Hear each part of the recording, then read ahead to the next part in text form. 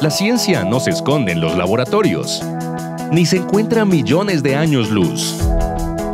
Por eso desarrollamos una plataforma abierta a la comunidad y a la creatividad. Esta es una ventana con propuestas diversas de divulgación científica.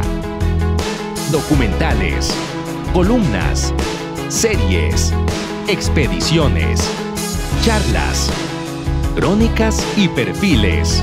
Aquí reunimos historias que demuestran que todo es ciencia